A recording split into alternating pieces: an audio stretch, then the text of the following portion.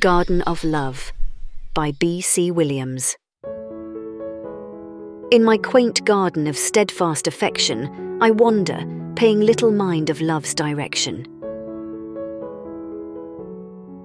Tending flowers in quiet solitude, my reflections on you are my own secret passion. I dance in chromatic dreams, where purpose oftentimes blushes, it seems. But when I hear you saying what you mean, it is then that my heart needs begin to gleam.